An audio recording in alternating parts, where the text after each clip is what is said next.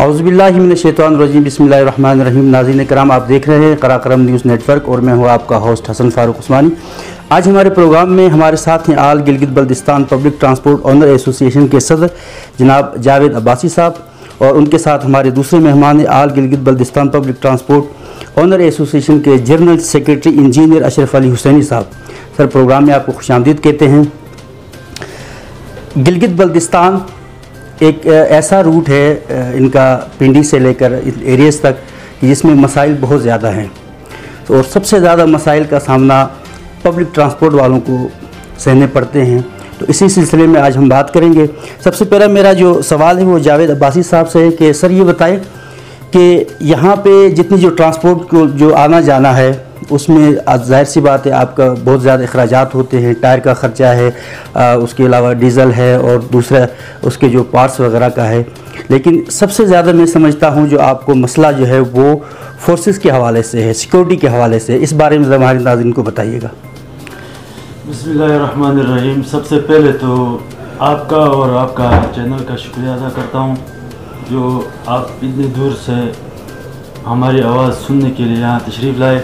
इसके लिए सबसे पहले आपको यहाँ ज़िला में वेलकम कहता हूँ। जहाँ तक आपकी सवाल की, सवाल जो आपने की उस पर इशूज़ तो ट्रांसपोर्ट के साथ जब रोड पे चलते हैं तो हज़ारों इशूज़ तो होते हैं।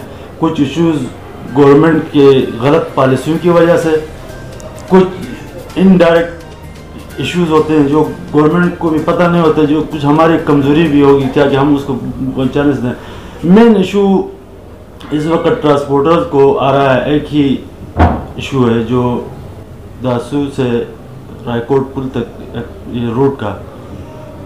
तो मुख्तलिफ़ सेक्शन पे काम भी हो रहा है रोड की हालत आपने भी देखी अभी आते हुए। जी बिल्कुल। तो उस पर हम गवर्नमेंट से पुरजोर ये अपील करते हैं कि इस रोड के मामले में थोड़ा इनिशिएटिव ले लें ताकि मुसाफिर को सफ़र करने में भी आसानी होगी और ट्रांसपोर्ट का जो नुकसान होता है, उससे भी बच सके। उसी के साथ साथ दूसरा इशू है प्राइवेट एक गार्ड हमारे ऊपर मुसलत किए है वो। जी भी गवर्नमेंट और के पी पंजाब तीन सूबों में हम ट्रेवल करते हैं। तो अब पंजाब के पी जी पी इनका तीनों का कानून भी अलग अलग, अपना अपना कानून बना हुआ है। के पंजाब वाले कहते हैं, आप लोग इस तरह रखो। के पी वाले कहते हैं, इस तरह नहीं होना चाहिए, इस तरह होना चाहिए। जी बी वाले कहते हैं नहीं इस तरह नहीं होना चाहिए इस तरह होना चाहिए तो हम भी एक जहनी कंफ्यूजन के शिकार हुए हैं अभी तो अब इस वक्त जो हालात है मुल्क के अलहमदिल्ला पहले से बहुत बेहतर गिलगित से लेके आप जाएँ दासू तक तो इस एरिया में यानी खसूस जो जीबी की जो एरिया है सौ या डेढ़ सौ किलोमीटर उसमें सात से आठ मुख्तलिफ़ फोर्सेस उसमें आप ले लें रेंजर्स वाले हैं G B scout army G B police अच्छा दूसरा टूरिज़्म फोर्स इस तरह की मुख्तलिफ़ और भी कई इदारे हैं जो इस रोड पे, इस वक्त सिक्योरिटी सर अंजाम दे रहे हैं। तो उसके होते हुए इस एक प्राइवेट एक गार्ड बंदूक रख के ट्रांसपोर्ट के अंदर एक, हमारे ऊपर भी बर्डन है। दूसरा एक अलग है कि जो एक सॉफ्ट इमेज है। वो भी मुतासर होता है। अच्छा ये इसी सवाल को लेकर हम इंजीनियर अशरफ अली साहब की तरफ़ जाते हैं। सर, ये बताइए कि ये जो जैसे आपके सदर साहब ने कहा कि ये जो गार्ड का रखना और इसका रिस्क का है, उसके अलावा उसके जो इमेज जो है, हमारी स्पेशली जो ख़राब हो रही है, ये सिर्फ़ आपकी नहीं, बल्कि कोस्तान से लेकर आपके जीबी का जो भी एरिया है, इसमें तो ये टूरिज़म का इलाका आपको भी पता है। तो इसमें जो है ना, जो सबसे ज़्यादा मुश्किल बात जो पेश आ रही है आपको, उस बारे में थोड़ा सा इसी सवाल को आगे बढ़ाते हुए उसको इसकी वजाहत कर दें आप। फ़ारूक साहब बसमीम बहुत बहुत शुक्रिया। आपने हमारे इस दरअसल ये सिर्फ़ न सिर्फ़ हमारे ये ट्रांसपोर्टरों का मुश्किल है, बल्कि हमारा आवाम का मुश्किल है, जो पैसेंजर जो इधर ट्रेवल कर रहे हैं। हम बार बार जो है गवर्नमेंट को ये याद दहानी करने के बावजूद, पता नहीं इसमें कौन सी जो है वो मसला जो है इसमें हाइल है, ये इसको उठाने से जो है वो कासिर है। हालाँकि पिछले साल हमने जो है चीफ सेक्रेटरी साहब ने जो है हमें वादा किया था जब आपको जो है ये कन्वाई वाला सिस्टम ख़त्म होने के बाद जो है एक विद इन वन मंथ इन हम इसको भी जो है ना, हम इसको विड्रा करेंगे। लेकिन अनफॉर्चुनेटली अभी तक जो है ना वो जारी वो सारी है। इससे जिस तरह हमारे सदर साहब ने पहले आप उन्होंने फरमाया कि ये जो इससे हमारे इलाके के ऊपर बहुत ज़्यादा जो अभी हम ये टूरिज़्म का टूरिस्ट का हम इसको हब बनाना चाहते हैं तो इससे इनके ऊपर जो है ना बहुत बहुत जो हमारे गाड़ियों पर ट्रेवल करने वाले हैं जो है ना वो बहुत गलत तासुरी से चला जाता है, गलत जो है मैसेज जाते हैं। भाई आप इनमें जो है ना यार बंदूक के साथ जो है ना बंदूक के साय में हम तो इधर सुकून करने के लिए आए हैं। हम जो है ना हम इधर जो है ना हम आपके बंदूक के साय में जो है ना अगर बंदूक की ही ज़रूरत होना तो फिर हम अपने इलाके में हम क्यों ना रहें? हमें उधर कोई बंदूक संदूक का हमें जो है ना कोई नामो निशान भी नहीं है। बिल्कुल। और हमें सुनने में आया था आपके गिलगित बल्तिस्तान जो है ना बड़ा पुराना इलाका है। अब भी अगर वहाँ हालत ख़राब है तो फिर हम नहीं जाते हैं कि अगर हमारी गाड़ियों से उतर के चले जाते हैं। और जबकि वहाँ से जो टूरिस्ट आ जाते हैं इनका सैकड़ों नहीं हज़ारों की तादाद में अब गाड़ियाँ आ रहे हैं। उनके लिए तो कोई ये गार्ड शार्ट का कोई इशू नहीं है। वो बाबूसार टॉप से भी आ जाते हैं, वो नीचे से भी आ जाते हैं, वो उधर जोसाई से भी चले जाते हैं। हमारे लिए जो है ना, वो पाबंद सरासिल किया हुआ है। पता नहीं ये गवर्नमेंट की कौन सी पॉलिसी है, ये हमारे समझ नहीं आती है। कि अभी हालाँकि अल्हम्दुलिल्लाह अल्लाह ताला के फजल से ये हमारे डिमांड समझें या गवर्नमेंट अपनी ज़रूरत समझें। अभी जिस तरह हमारे सदर साहब ने फरमाया कि हमारे यहाँ पर जो है ना इस के के एच की सिर्फ़ जो है ना, वो तहफ़ के लिए सात आठ फोर्सेज जो है ना, वो वो इसमें लगाया हुआ है। जिसमें आपका पाक आर्मी है, आपका रेंजर्स वाले हैं जी बी स्कॉट वाले हैं, पुलिस फोर्स है, आपका सी पैक पुलिस है, आपको टूरिज़्म पुलिस है, और इसके अलावा भी पता नहीं, और अभी जो है ना, ये अभी ये डैम के जो है ना, वो सिक्योरिटी के रितार में पूरा एक जो है ना, वो एक यूनिट उधर डिप्लॉय किया हुआ है। अभी आप एक डेढ़ सौ किलोमीटर के फासले पे अगर आप एक बंदे से एक बंदा हाथ से हाथ मिला के रखेंगे, तब भी जो है ये जो है ये इलाका इस तरह जो है ना, वो गुजर गुजर सकता है। अभी आप इसके लिए जो है मेन इशू बना के किसी जगह पर कराची में भी कोई फसाद हो जाता है उसका इफ़ेक्ट जो है हमारे ऊपर जो है ना ये दो चार ट्रांसपोर्टरों के ऊपर उसको लागू कर लेते हैं। किसी कार का टायर पे पंचर हो गया तो वो भी हमारे ऊपर जो है ना लागू कर लेते हैं। जबकि इसी रोड पे कार चले जाते हैं आ, ये आपका पराडो वाले चले जाते हैं हर कोई चले जाते हैं सिर्फ़ हमारे बस और कोस्टर उधर रोक के रख लेते हैं। ये बहुत अफसोस की बात है। अभी नीचे से आते वक्त जो है ये आपका सुमबुर नाले में जो रात के बारह बजे पहुँचता है वो सुबह छः बजे छोड़ देते हैं। और उधर से जो है, हमारे गिलगित बल्तिस्तान से आने वालों को इधर ये बादशाह डैम के पास जो है ना, उधर रोक के रख लेते हैं। इस नहीं आ, आप सर ये नहीं समझते हैं कि ये जो सुमर नाले के पास जो रोका जाता है ज़ाहिर सी बात है वहाँ पर एक पॉइंट है होटल्स वगैरह बने हुए हैं। तो हो सकता है ये कि डीपीओ साहब वहाँ के इलाके के वो डीसी साहब और एसएचओ ये सारे मिल मिलाप करके होटल वालों के साथ कोई इनकम का कोई ज़रिया इन्होंने बनाया हो। मुमकिन है ये भी हो सकता है देखे ना। अभी हमने पिछले दिनों में जो है अभी हम इन तमाम बातों को हम इधर कहना मैं मुनासिब नहीं समझता हूँ। हो सकता है कि ये भी ये भी इसमें कोई अंदरूनी तौर पर इस किस्म का भी कोई इशू हो।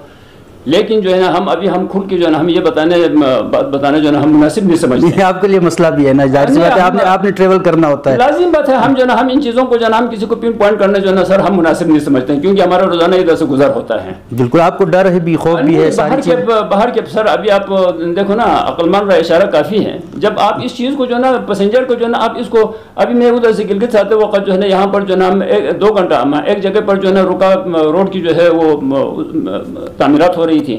एक एक जगह पर हम एक घंटे ठहरे तो इस तीन घंटे जो है मेरे उधर से इधर आने में लग गया। तो लाजिम बात है अब हमारे जो क्वेश्चन जबकि मेरे पास छोटी गाड़ी हैं इसके बावजूद अब मेरे जो बसें आ जाते हैं क्वेश्चन आ जाते हैं लाजिम बात है अब ये ये, ये चीज़ें जो है ना अब खसूस हमारा स्कर्दो वाला गाड़ियाँ जो है उधर से आते हैं रोड जो है ज़ेर तमीर है। सुबह दस बजे आते हैं वहाँ पाँच बजे जो है किसी जगह पर जो है एक घंटा किसी जगह पर दो घंटा किसी जगह पर तीन घंटा इस तरह करते करते रात के तार में बारह एक बजे इधर वैसे भी उधर जो है पैसेंजर को टार्चर करके इधर पहुँच जाता है। जबकि हमारे जो है ना इधर से टूरिस्ट आने वालों के लिए। उनको कोई ना उनके बल्कि मेहमान नवाजी यह ठीक है हमारे इलाके में जब तशरीफ़ लाते हैं, वो हमारे फ़र्ज़ भी बनता है हम सब का लेकिन जो है ना सर ये हमारे जो है ना, जो गिलगित बल्तिस्तान से ताल्लुक़ रखने वाले हैं या हमारे कोहिस्तान से ताल्लुक़ रखने वाले जो हमारे गाड़ियों को इतना टर्चर करते हैं ताकि आइंदा के लिए जो है भाई, तुम इन गाड़ियों में नहीं आना, वरना तुम तुम्हारे साथ यही हासिल होगा क्या कर जो है यानी इनडायरेक्टली जो है, या अगर डायरेक्ट मुँह से ना कहें तो प्रैक्टिकल तो ये हो रहा है ना। बिल्कुल। अभी देखो अब इधर से बाबू सर जो है दुनिया जो है इधर से आ रहे हैं जा रहे हैं हमारे लिए जो है ना पाबंदी है। भाई तुम नहीं जा सकता है। यार मोटरवे पे जो है उस दिन जो है मैं लाहौर एक दफ़ा जा रहा था तो उधर जो है कलर कहार में हालाँकि वो ज़्यादा से ज़्यादा जो है ना वो दो चार किलोमीटर के फासले ज़्यादा है नहीं है। उस दो चार किलोमीटर में कम से कम सर पाँच या छः गाड़ियों का एक्सीडेंट हुआ था। तो क्या आप इस मोटरवे को क्या आप बंद कर देंगे? एक्सीडेंट तो किसी जगह पर भी हो जाता। है उस दिन जो है ना सर हमें जो है ना वो वो क्या बोलते हैं हमें वो बलूचिस्तान का जो है ना एक वो आया था पिछले साल सिर्फ़ जो है अगस्त के महीने में 900 कुछ एक्सीडेंट हुए थे जिसमें से तकरीबन पौने दो सौ के करीब बंदे मरे थे चौदह सौ करीब जो है जख्मी हुए थे। क्या आप वो तमाम रोड को बंद कर देंगे? हाँ इसमें इसलाह हो सकता है। अगर ट्रांसपोर्टरों की तरफ़ से कोई इस किस्म का कोई है आप इसको जो है ना आप हमें बता दें भाई आप ये ये आपके पास ड्राइवर की जो है ये आपकी कमज़ोरी है, ये आपकी तरफ़ से, ये आपकी एंड से ये चीज़ है हम आपस में मशावरत के साथ जो नहीं, मसला मसाइल को हल करना चाहिए ना? बिल्कुल, इंजीनियर साहब, बहुत शुक्रिया, आपने बड़े ज़बरदस्त तरीके से एक्सप्लेन किया इस मसले को। जावेद अब्बासी साहब, ये बताइए कि अभी सुनने में ये आ रहा है कि आपकी जीबी गवर्नमेंट ने ये जो के केच रोड है, जो कोस्तान के हदूद से आगे निकल के, ज़ाहिर सी बात, ये डबल रोड बन रहा है, ऊपर से आएगा ये, क्योंकि उसकी डैम की वजह से। लेकिन जो पुराना रोड है, उसके लिए भी कोई फंड मखसूस किया है जीबी गवर्नमेंट ने, उस बारे में थोड़ा सा बताइए। ये मैंने भी सुना है कि इस रूट के लिए फंड मुख्त हुआ। देखते हैं आगे बजट भी आ रहा है। जी भी गवर्नमेंट का छब्बीस को शायद मेरा ख्याल कल उनका बजट भी है। तो इसमें हम उम्मीद करते हैं कि इस चीज़ को मेन उस पर रखें और फंड भी इस चीज़ को रखें। लेकिन ये ना करें कि हमने फंड रखा है, फिर करेंगे वाले वो सियासी बयानबाजों में तो पिछले तीन चार साल से ये तो हम खजल ख्वार हुए इस रोड पे। तो एक चीज़ ये सुनी साहब ने भी इस पर आपके नोटिस में लाया ये डोन से जो हमारी गाड़ियाँ आती हैं उसको ये तो बिल्कुल एक मैं समझता हूँ ना कभी कभार मैं भी ये सोचता हूँ कि यार हम ट्रांसपोर्टर क्यों बने? यानी कि बहुत सी मुश्किल ऐसी क्या गुना किया था जो हम ट्रांसपोर्ट में आ गए जो सोचते थे गवर्नमेंट जो बंद कमरे में फैसले करती है ना, बंद कमरे में इशूज सारे मेन वहाँ से क्रिएट होते हैं। अब देखो, नीचे से गाड़ियाँ आती हैं, आके सुमर नाला, ना उधर कोई रहने का सिस्टम है फैमिली लेडीज़ के लिए। वहाँ रोक के तीन घंटे, चार घंटे सवारियों को भी डिस्टर्ब ट्रांसपोर्टर को भी डिस्टर्ब अच्छा फिर उसके बाद फिर छोड़ते हैं। तीन घंटे के बाद क्या उन्होंने कोई कमिटमेंट की हुई है किसी से कि भाई तीन घंटे की इधर रोको, उसके बाद हमने कुछ नहीं करना है? ये ये, ये, ये भी एक एथेंटिक सवाल है। बहुत ज़बरदस्त क्वेश्चन है आपका। अब मैं डीपीओ अपर कोस्तान और DC deputy commissioner upper Kohistan से रिक्वेस्ट करता हूँ कि इस चीज़ का नोटिस लें और इस मसले को हल करें। दूसरा यहाँ से जो जाती हैं डाउन कंट्री भाषा में रोका जाता है उसका भी डीपीओ साहब नोटिस लें और हम उम्मीद करते हैं कि इन इस मसले को भी वो सीरियसली लेके इस मसले को हल करेंगे। बहुत शुक्रिया। नाजिर कम ये हमारे साथ थे जावेद अब्बासी साहब और इंजीनियर अशरफ अली हुसैनी साहब। इन्होंने बड़ी अच्छी बातें की और ख़ास तौर पर इन चीज़ों को इन्होंने पॉइंट आउट किया है कि देखिए गार्ड रखना कोई इतना बड़ा मसला नहीं, इतनी बड़ी बड़ी, गाड़ियाँ जो चला रहे हैं तो उनके लिए पंद्रह बीस हज़ार के एवज़ जो है ना, गार्ड रखना कोई इशू नहीं है। लेकिन इसका इमेज जो है, वो इलाके का ख़राब होता है। जिससे टूरिज़म में ज़ाहिर सी बात है, उसमें ख़राबी पैदा होती है, लोग आते नहीं हैं तो इसमें गवर्नमेंट का भी नुकसान है पब्लिक का भी नुकसान है, और चूँकि गिलगित बल्तिस्तान का एरिया बैकवर्ड एरिया है तो इसमें अगर यही इसी चीज़ पे ये टिका हुआ है कि अगर टूरिज़्म का सिलसिला ख़त्म हो जाएगा तो फिर यहाँ के लोग क्या करेंगे? तो इसी के साथ प्रोग्राम को अख्ताम तक पहुँचाते हैं।